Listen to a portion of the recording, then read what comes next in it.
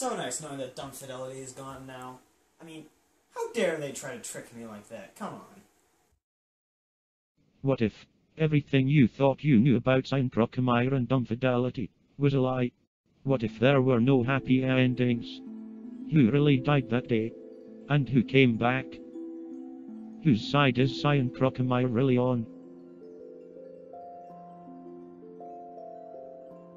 Paper Mario, Sonic Mania, it all means something. Who's Starch Billy really, and what is even canon anymore?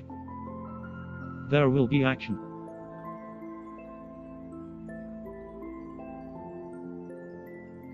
In a thrilling sequel.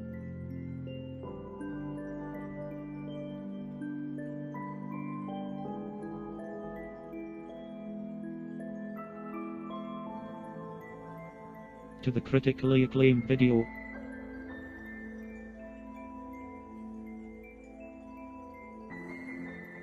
Happy birthday, Cyan, Crocomire, Revengeance.